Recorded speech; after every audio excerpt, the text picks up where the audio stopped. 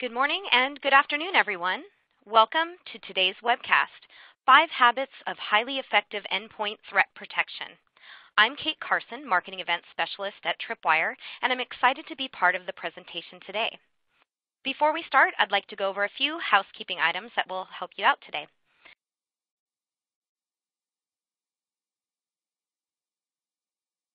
Make sure that your audio is streaming correctly. Please note that the audio portion will stream through your PC or laptop speakers.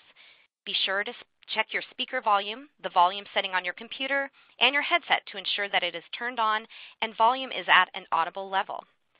Today's webcast is presented using a slide deck. You can click on the expand rectangle on the top right corner of the slide area to enlarge. If you're not seeing the slide movement on your console, you can try refreshing your browser. If you have technical difficulty during the webcast, please click on the Help widget. It is the question mark icon on your console and covers common technical issues. If you have a question during the presentation, click on the Q&A widget and submit your question, and we will have a Q&A session at the end of the presentation. Lastly, I will be sending out a link to the on-demand version of this webcast and a link to the slides. Also, you may earn a CPE credit for attending today. Now let's get on with the presentation. Our speakers today are Cindy Valladares of Tripwire and Rick Holland of Forrester Research. Cindy Valladares is Director of Corporate Communications at Tripwire. In her role, she focuses on finding and sharing stories that are relevant to our InfoSec community. Her favorite motto is Nihito, which means nothing interesting happens in the office. Thus, it is quite appropriate that she leads our customer advocacy program, blog, and digital media efforts, as well as our relationships with industry analysts. Welcome, Cindy. Thank you, Kate. Very excited to be here today with you and Rick. Our guest speaker today is Rick Holland. Rick is a principal analyst at Forrester Research, where he serves security and risk professionals. Rick works with senior information security leadership, providing strategic guidance on security architecture, security operations, and data privacy. His research focuses incident on incident response, threat intelligence, vulnerability management, email and web content security, and virtualization security. Rick speaks at security events including the RSA Conference and SANS Summits. He is regularly quoted in the media and is a frequent guest lecturer at the University of Texas at Dallas. Welcome, Rick. Thank you for having me. For more information on both of our speakers, you may click on the bio widget on the console. So now, without further delay, I'll turn it over to Rick Holland. Take it away, Rick. Thanks so much, Kate, and thanks to everybody for joining us today. I know you have busy jobs, so setting aside some time to spend with us is very much appreciated.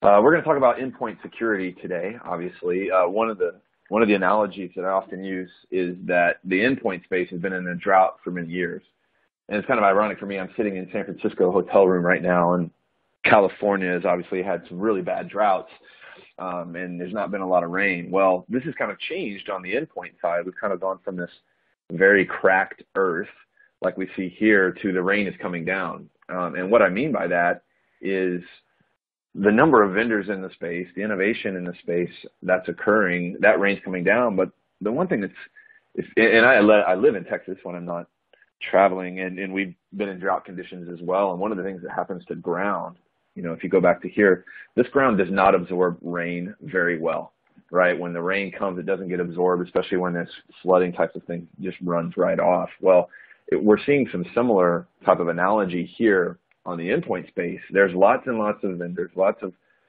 improved capabilities, new capabilities, but it's very easy for the ground to not absorb it, for our brains to not absorb it, to not know how to navigate, not have a good strategy here because there's just so much market noise occurring um, in the endpoint space. So that's one of the goals I have for our, our conversation today is to give you, you know, some, some strategies that you can do when you're looking at endpoint threat protection, when you're looking at bringing in new technology, complementing existing technology, expanding existing technology. Um, one of the survey points that I wanted to bring out, uh, just to kind of show evidence in the change of spend, we have an annual security survey at Forrester. Um, we get it in the field in April. Uh, we roughly interview about 2,000 security leaders, director and up, and we ask them about their spending. And this particular question, the question was, how do you expect your uh, spending on client threat management to change from 2015 to 2016? Um, and you can see that 31% of SMB and then 33%, so let's just call it a third of respondents were seeing a bump between 5 and 10% on their uh, endpoint spend. So the, the, the hype is there, um, the, the market noise is there, new capabilities are there, and people are looking to invest. I think the biggest question that my clients have is what am I going to actually invest in?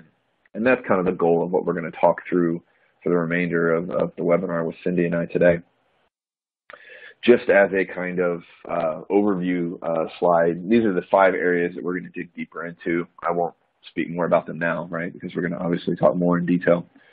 Um, the first one is living off the land, and I don't know if we have any um, Discovery Channel fans, or I guess now NBC, but this is Bear Grylls, who used to have a show on Discovery called Man vs. Wild, and now he's gone off to do his own thing. But if you've ever seen Bear Grylls, he's you know, known for eating all kinds of bugs and snakes and goes out to these remote locations um, and living off the land, right? He has to find what's there. There's, although if you follow the show, you also know that some of these survivor shows, um, when they're off camera, they're sleeping in nice accommodations and they may not be quite as rough as, as it's indicating. But the analogy here is that we need to live off our land. We need to live off of our infrastructure. We need to make the best out of the situation that's there. Um, there's a term that I've been using for, I don't know, probably three years right now, and I call it expense in depth. So instead of defense in depth, it's expense in depth, meaning we just keep buying more things, new things, new capabilities, and there's really no rhyme or reason to a lot of our investment. You know, um, Cindy and I, before the webinar started, we were just talking about the RSA conference in February and early March. Um, and, and think about this, you know, whatever's hot on the expo floor, at the RSA conference or Black Hat or InfoSec in Europe, right? People are investing in those things. But the problem is this expense and depth mindset where we just keep buying and we don't really look at our existing investments. Uh, we don't look to see where we're getting those marginal returns. If you look in the bell curve, right? Ideally, as soon as we start to go down on the right hand side of that, that graph, uh, is when we want to start minimizing our investment unfortunately, many people don't think about it in those in those ways. And once again, it's that expense depth. So when it comes to and this and obviously this applies to more than just endpoint, but I think it's important to to, to bring out um, is that we got to maximize all of our existing capabilities and all of our existing investments before we do anything else. When I was a practitioner, I'd make recommendations to buy some new product at the time. It may have been Tipping Point IPS when they were brand new, um, or something else. But we already had some type of capability um, in in the environment already, and maybe we weren't maximizing it. So that first part is anything you've already invested money, it's sunk cost. Make sure you take care of all those capabilities. Uh, the next piece, as far as living off the land, is look to your existing vendors. Um, obviously, this applies both to endpoint and non-endpoint, but look at the existing vendors that are already in your portfolio, that you already have a management infrastructure, um, a platform in place for, and see do they have any of the new capabilities that you need. Um, and then finally, I don't want to say that you never would want to invest in a new capability or you would never want to bring a new vendor into your environment, but you just don't want that third bullet to be your first step. You want to make sure you do your due diligence. You want to make sure on all of your existing investments, you know where the diminishing returns are occurring. Um, and maybe that's how you start reducing money as you're trying to look for, for new budget to buy new capabilities. Uh, but we just need to have a little bit more method to our madness instead of just the kind of buy, buy, buy um, that we so often see. That, that's a great point, um, Rick. I was recently at a CISO conference, and one of the leaders there had commented that he has never had an issue with budget before. He was always um, able to put the business first um, and one of the things that he did was not only look at existing um, technologies that he had in his area of expertise, but also across other departments. So if you're running security, look at the compliance and operational side, because quite often there will be technologies there that you can leverage and um, you know expand uh, usage. Oh yeah, that's Cindy. That's a super point, right? Don't just think of your own stack um, and sometimes uh, a good analogy for this as well is, is, maybe on the network side.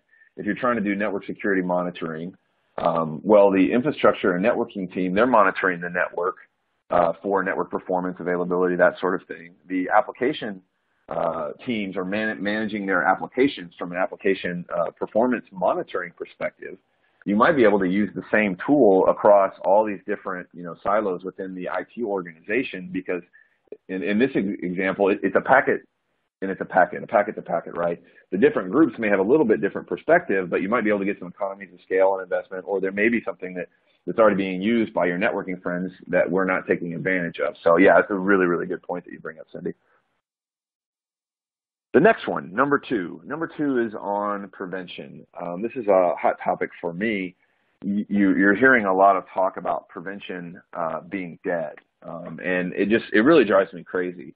Um, we just released our predictions docs for 2015 or 2016, and and yeah, I know the I kind of smirk when I even think about predictions docs in general, but we they're still very popular when we did them. And one of the things that that we were commenting there is that we're going to see some in, in more investment in the prevention space, but ultimately, prevention isn't going to be able to stop all the adversaries out there. If you're dealing with a very sophisticated adversary with capability intentions and motivation, right? They're going to be able to get in. So you do have to fall back to detection and response.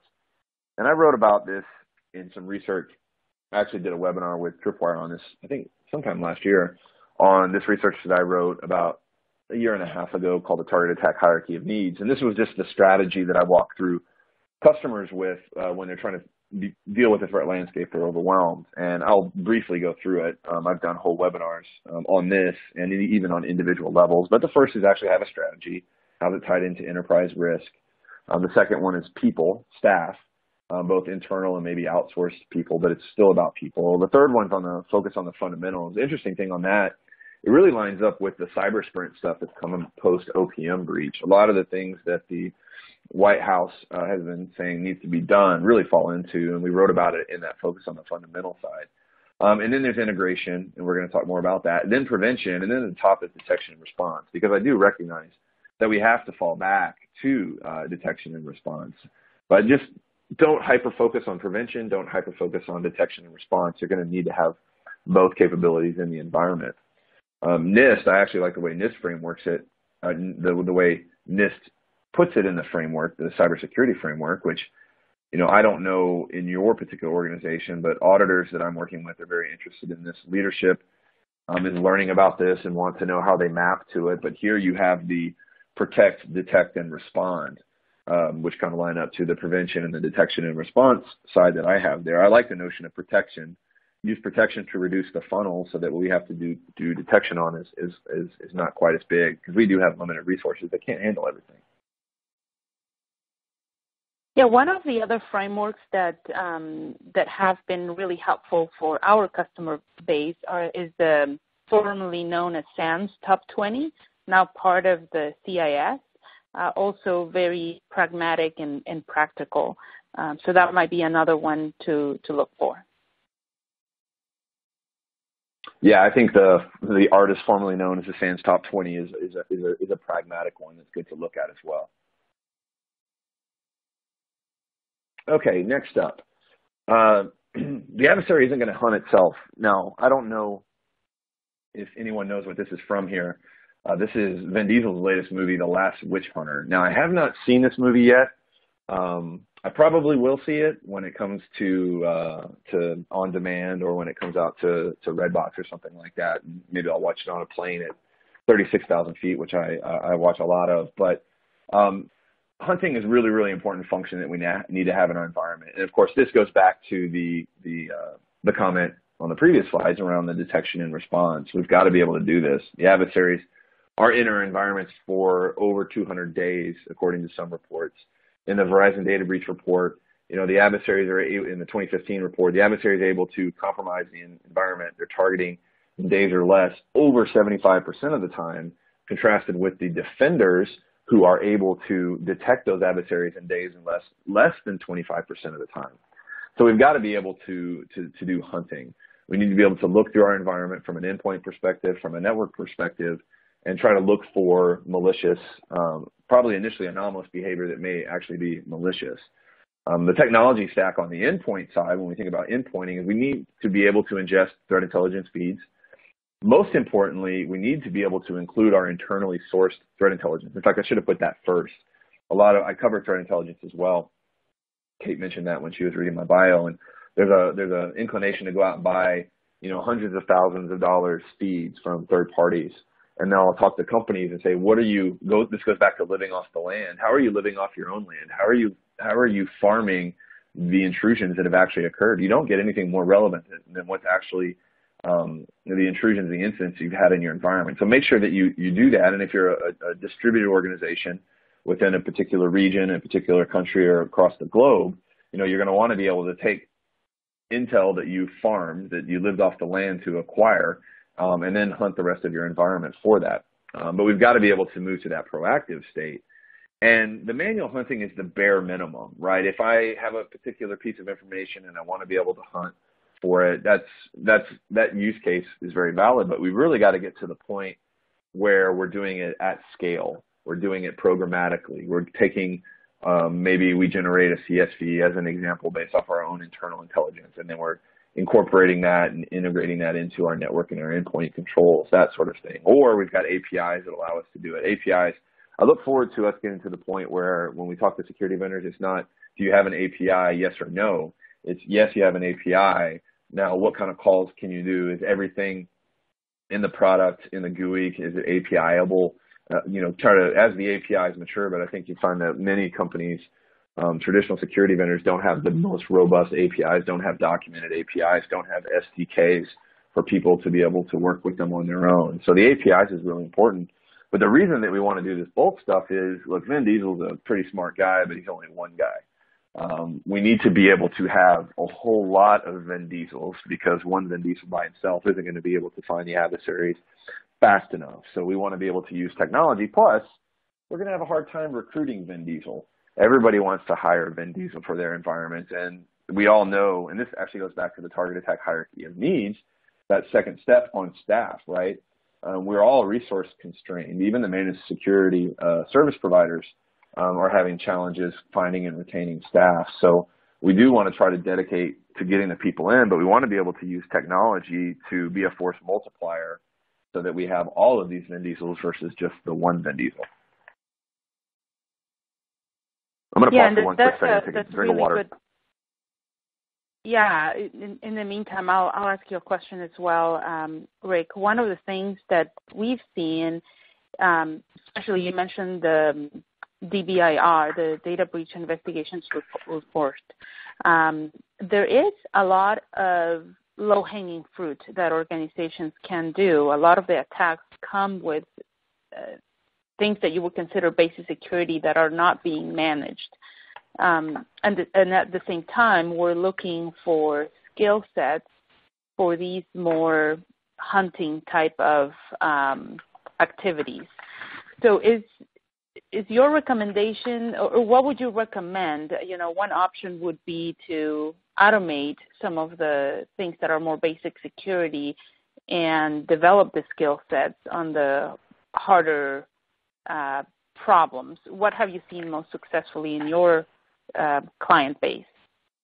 Well, I think it's a mixture of both. Um, there are a lot of manual repetitive test tasks, rather, that organization or organizations are doing, and we'll talk a little bit more about automation in a couple um, a couple slides. But that certainly does does an offload. I also think you you, you know you uh, I'm glad you spelled out what the DBIR is. Thanks for doing that because I didn't. But there's another component uh, from I think the 2013 um, data breach investigations report where they made this comment of uh, why use a cruise missile when the screen door is wide open. Kind of to the point you just made, Cindy, about a lot of the times the adversaries are getting in through low-hanging fruit.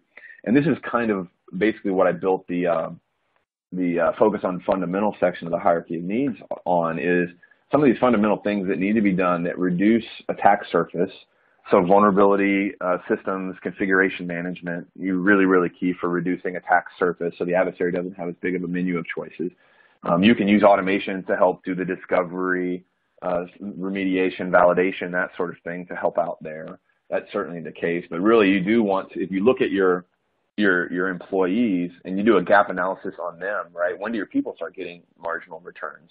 when they're doing this kind of commoditized, re repetitive work that could be automated. So automate where we can. And you're seeing automation happen in, within individual security controls. And then more broadly, you're seeing emerging technology that's kind of designed to help orchestrate entire environment security stacks. We're in the early days there, but certainly we want to get to the point where we can use technology to be a force multiplier for our people, to maybe make a level one person a level two, and then try to free up our resources for the more strategic work like hunting and scale. Great, thanks. Next one up, number four, a small footprint. Um, this one is of particular pain point for me. You know, I, I'm tracking roughly 50 vendors in the endpoint space, ranging from traditional vendors uh, that have been in the space to startups. It's quite overwhelming. And every time I get on a briefing with someone, they all claim to have a small footprint. I'm getting small footprinted to death. In fact, last summer, or I guess it would be summer before last, so about a year and a half ago, um, I did this this you know uh, Pulp Fiction meme with say small footprint again because everyone says they have a small footprint. And I always will call people out and say, well, what does that actually mean? Every time I talk to a vendor, they say small footprint. Who would say we have a large, obtrusive, painful footprint that's going to be difficult for your users, difficult for your admins. Um, so when, when looking at endpoint threat protection, um, and new capabilities, you really have to consider the footprint that's going down on the host that you have. And we're also not in the in the days of um, you know Windows XP, a homogeneous environment, um, and BlackBerry on the phones. Right now, we have all kinds of mobile operating systems, and then of course we have lots of uh, uh, Windows operating systems. Um, OS X is really picking up in the enterprise significantly. So we have to think about the footprints that are out there.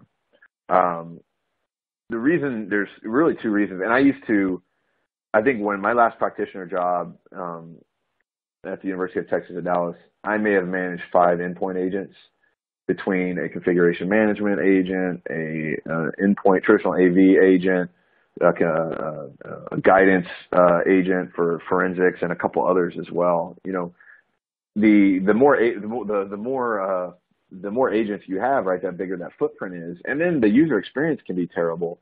You know, having run, you know, the product formerly known as Cisco Security Agent and having pop-ups there. Or if we think about go back further, Black Ice and all these pop-ups that happen on the user, right? You know, we're just training users to click yes to things, which then defeats the security. So the endpoint products have to sit in the background and not invade on a person's work and make it more difficult for them to do their job. By the same token, it's really important for the admin experience to be transparent. As transparent as possible, reduce the friction there. You know, I think back to my days of um, training host intrusion prevention and having to look through uh, individual logs and what would have been blocked and spending all this time, just real, really painful experience for the admin. We need it to be easier for the admin as well.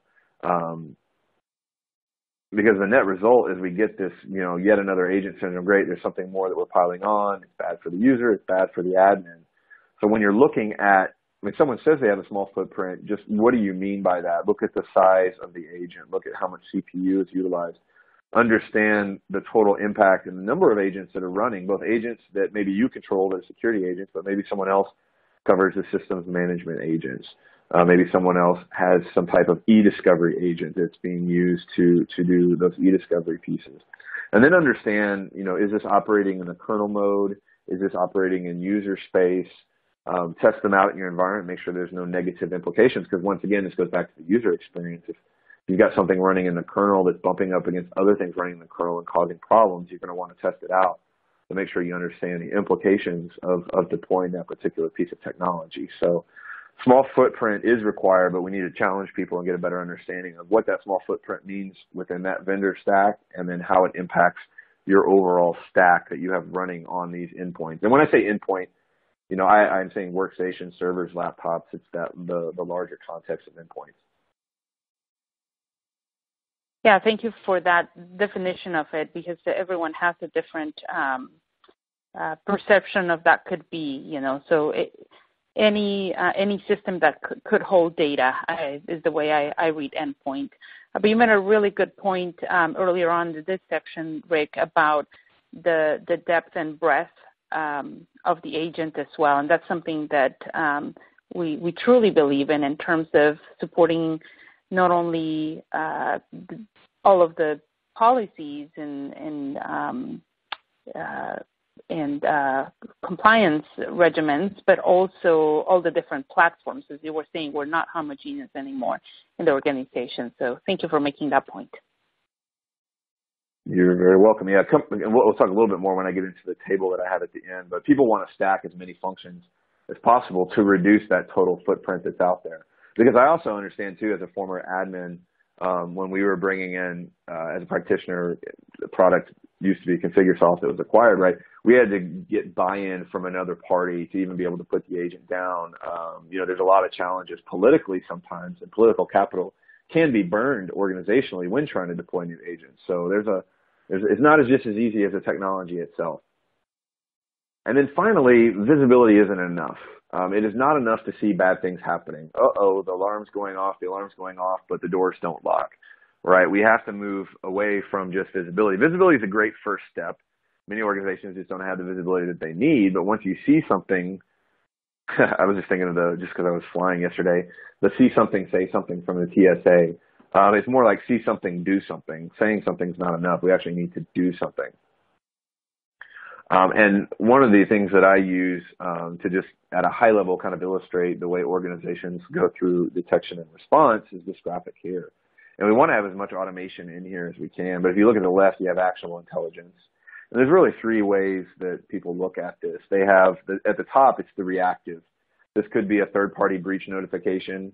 Uh, could be an FBI notice. Um, it could be a um, Brian Krebs article, right? Now we're flashlights are going, or the flash, the red lights are flashing.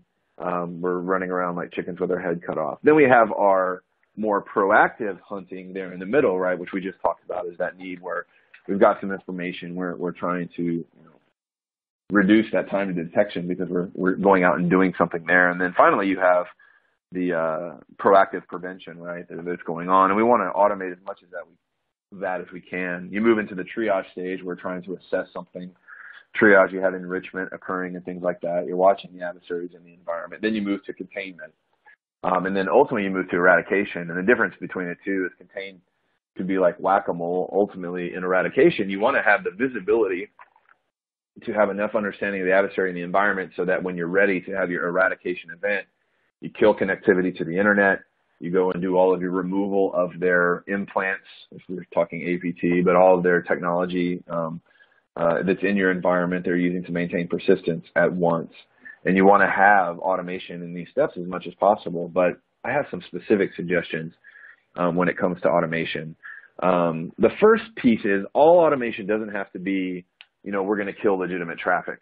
Um, you know, the there's a, I think there's a reason why a lot of IDSs are deployed as IDSs and not intrusion prevention systems or why a lot of web application firewalls might just be essentially a web IDS versus actually blocking bad things because people are so scared of you know blocking legitimate traffic at the expense of perhaps letting an adversary persist in the environment and then and then move move out. But the second bullet there, right, human intervention. Wouldn't it be nice if we have the automation in the stack built up so that when we're ready to move to this eradication phase in the top right, we can press a button and that automation happens. It's kind of guided automation.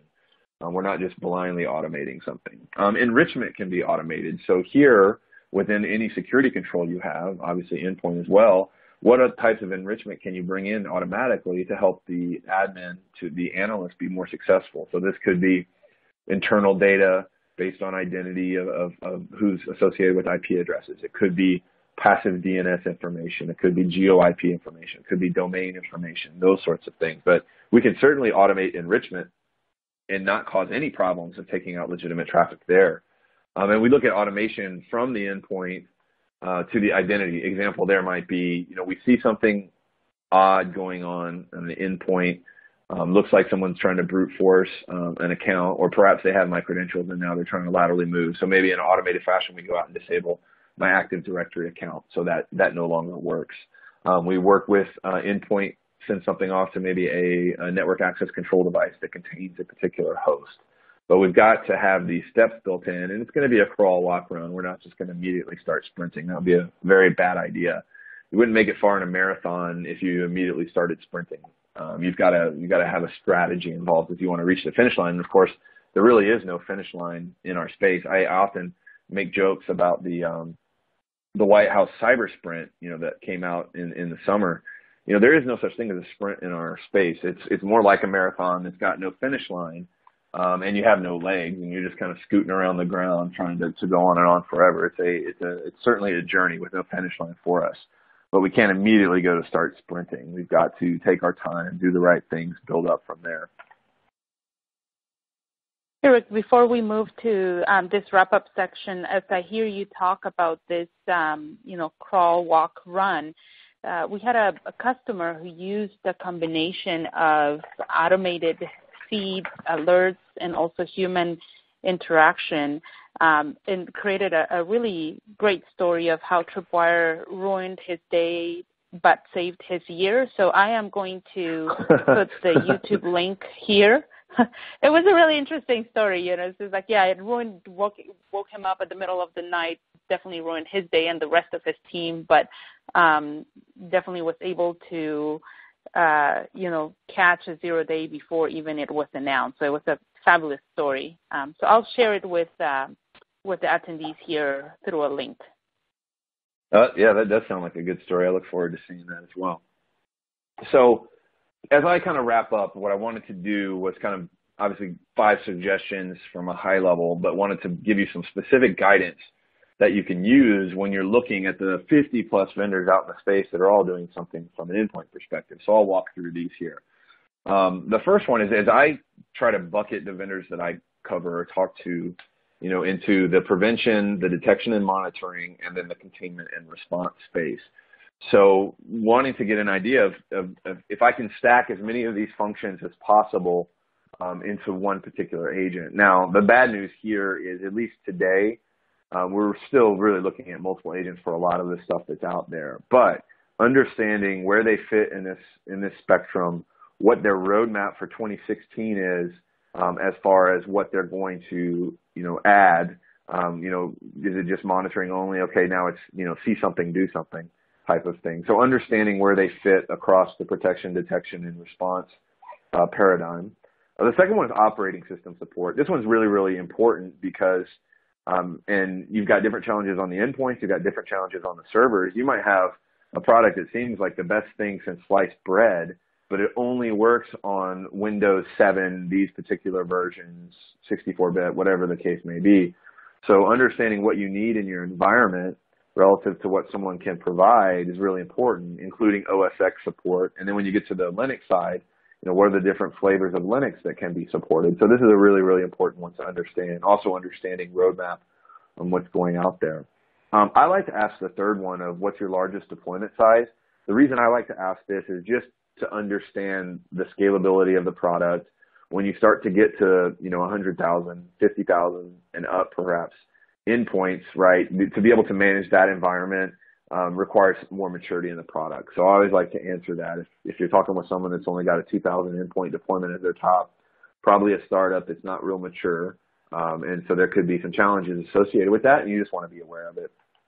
I already mentioned um, the next piece here on the kernel versus user land. You know, where do they operate? And then if they're in user land, what are they hooking into into the kernel to try to get data back? um, that sort of thing. So understanding that is really important, and then testing it out to make sure that you're not going to have uh, something bumping up against other applications running on your endpoints.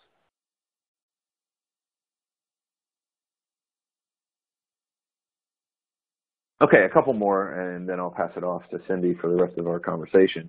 Uh, another really important one is just the deployment model.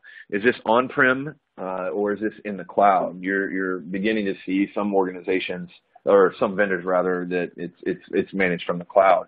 And understanding where your organization fits with respect to SaaS uh, services is really really important. Some organizations are no, we're not going to do anything from the cloud. Others, uh, their appetite may be a little bit different. So just understanding uh, where this this works is, is is important. It's interesting. I've had some conversations with vendors in the past where I'm told that it's managed from the cloud as kind of an end note at the very end of a conversation, um, as if almost some people trying to hide the fact that they're being managed from the cloud because people may have objections there. So I like to ask that question up front, especially if you're trying to qualify um, uh, vendors that are going to support you, you know, you can use that right there as a way to eliminate based on your organizational preferences. Um, the second one here is how do you leverage threat intelligence? And this kind of goes back to the point we made on um, the ability to to do automated hunting at scale. You know, how can I pull in JSON? What does the API uh, do? How can I integrate this in so I can have all of those Vin Diesels versus the one Vin Diesel helping me out? And then the final one is on on the integrations. And you know, this is integration, and, that, and I already kind of mentioned some of these.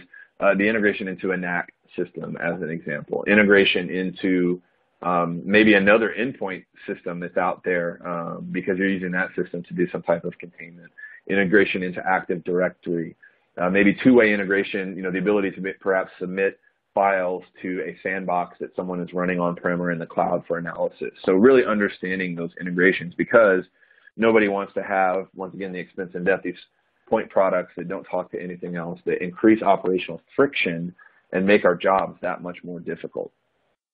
So there's some high-level um, steps with the five, um, the five steps that we talked about, and then a little bit more specific requirements when evaluating the specific vendors out in the landscape. As I look forward, right, you're going to see um, the the protection, detection, and response kind of spectrum vendors adding more capability there. So I think roadmap is also really really important. And another thing, just to be careful, if, if you you want to know how many existing customers they have. There's so many startups in the space; they're not going to be successful because the market is so large as far as competitive landscape. So understanding you know the the the longevity of a company is really really important as well. So some of the startups out there they're they're probably not going to be around in 18 months. So something to consider as well. Um, with that, let me hand it to Cindy to continue the conversation. Yeah, thank you, Rick. And I'm only going to spend a few minutes giving you the inside look of how Tripwire can help with all of these um, habits that Rick has been talking about. But before I get into that, I just want to remind everyone, if you have a question, please submit it into the Q&A tab of um, your console, and uh, we will address them here in just a few minutes.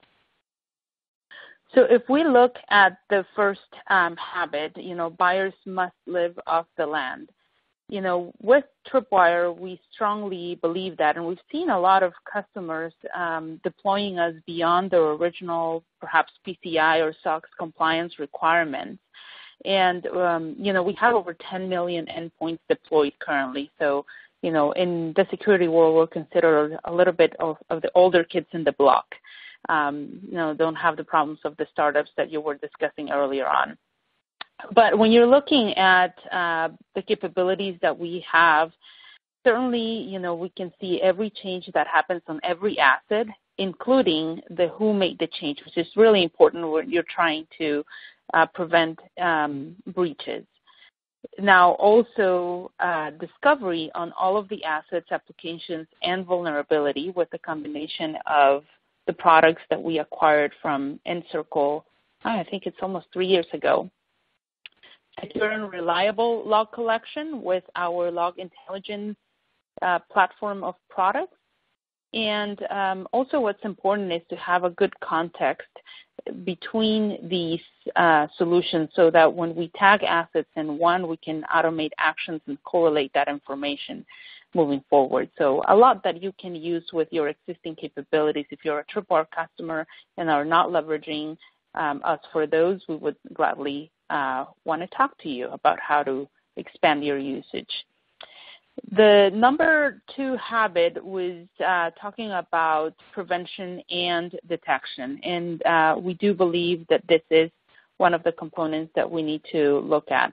Now, I don't know if it's only my screen, but I don't see the dots on the right-hand side. Um, but a couple of comments here you know, shrinking the attack surface with configuration management and vulnerability management is very important, but then also identifying suspicious changes. We sometimes help organizations with what we call super events. We correlate that event with information that we receive from our different solutions, and we can also share that with uh, your SIEM of choice if you're using one. Uh, here we go. Okay. Then for the habit number three, uh, we talked about the adversary isn't going to hunt itself, and we need to support integration capabilities with threat intelligence components. So the ones that you see on the screen, uh, like Cisco, Palo Alto, CrowdStrike, uh, Soltra, if you are in the financial services, um, all of these we have integrations with to really figure out what are the malicious indicators of compromise and then create alerts um, so you can do some of that hunting. The number fourth habit talks about the small footprint. And we did already talk a little bit about this in terms of breadth and depth of coverage and policies and platforms. Um, and this just gives you an idea of how um, long we've been in business. Uh, 97, I think, it's the time where we uh, established a commercial version of Tripwire. We serve over 96 countries and we have over 9,000 customers. So we've been, a, been around the block. And for the habit number five, we talked about visibility isn't enough and we need to take action on what's happening here. So with Tripwire Enterprise, you can integrate it with your existing workflow. You can increase or decrease the monitor, um, the monitoring and the continuous monitoring of your alerts as you see them fit. Run executables and investigate further for also doing the remediation and taking action. So I believe that is my section. And what I would like to do is take some uh, questions. And I know um, I know there's a couple of questions here. Okay. Um, so one of them is Rick, with so many um, with so many questions, with so many vendors. You're talking you're talking about 50 vendors on the landscape. How how do people come with their short list? You know, what are the things that they should be considering when evaluating some of these vendors beyond what you've already mentioned on the technical capabilities? Yeah, I, I think one is look to your existing vendors that you already work with first, and definitely include you know incumbents that you already are familiar with that maybe are other integrated into other areas in your environment you know, including, you know, a startup or something like that, something you could look at as well. But I think you start with what you are, who you already know, proven companies like that, and then, you know, add a couple more to the mix based on other features. But I think knowing what you need, deployment model, operating system support, a lot of the things that I had on that blue slide, and then actually testing it out in your environment, making sure it's going to work.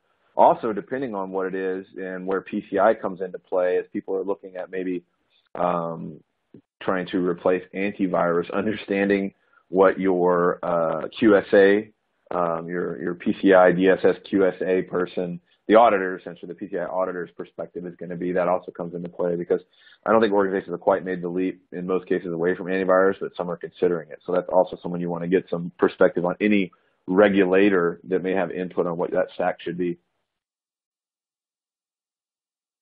Okay, great.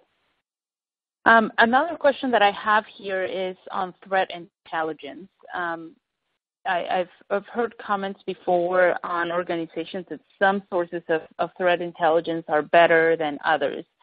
Um, your take on that would be helpful, especially if you have, you know, if as it relates to specific industries or perhaps it's a broad, you know, threat intelligence sources question.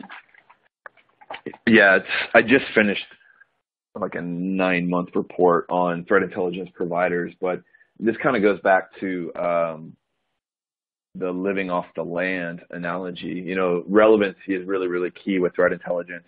And you're really not going to get anything more relevant to your environment than what you are collecting from your own intrusions. So once again, starting with your own intelligence is really, really important. And then, and I would say only after you're maximizing that living off the land again, bringing in third-party providers and then fusing them together. And fusion is also in the buzzword category in, in the threat intelligence space. But ultimately, third-party providers do cast a wider net. So you want to lay over what you're seeing in your own environment with what these external companies, organizations are seeing. And when you when you look at third-party uh, companies, um, what you want to consider is your threat model, and does this particular company collect against adversaries that are in your threat model? And understanding how they're they're lined up and relevant to, to you. And so if you're a company that is um, has no intellectual property, this is kind of a generic example, um, you know, perhaps you don't want to pay for money for someone that's focused on espionage threat actors um, because they're, they're not targeting your organization. Um, you know, maybe you're more interested in someone that's doing cyber criminal actors and looking at remote access trojans that cyber crime um, actors are using. So I really, really, relevancy is the key. Nothing more relevant than your internal intelligence that you're collecting from your own intrusions. And then when looking at third parties, how relevant is their product, their intelligence product, to your threat model? Great. So I don't see any other questions. So before that over to Kate, um, I just wanted to um, do a last minute plug for some additional resources. If you click on the tripwire.com slash blog, there's a lot of discussions about endpoint protection, the hierarchy of needs. Um, uh, you know, we did a blog post on that, I think it was last year, based on, on your work, Rick. And um, I know you blog a lot and you comment a lot on Twitter as well. So there are some additional resources and um, and free content that you can access by reaching out to uh, either one of us here. So Kate, uh, back to you as I don't see any other questions. Wonderful. Thank you, Cindy. Uh, thank both of you, our guest presenter Rick Holland of Forrester Research and Cindy Valladares, Director of Communications at Tripwire. And thank you, our audience, for joining us today. As I mentioned earlier, prior to the webcast, I will be sending out a link of the on-demand webcast, excuse me, and to the slides. Uh, so that will come in an email, and feel free to respond to that email if you'd like to earn CPE credit for attending the webcast today. We hope that you'll join us for future webcasts. You can visit, visit tripwire.com to find out about future events. Also, as Cindy had mentioned, you should check out our award-winning blog, The State of Security. Thank you and have a great day.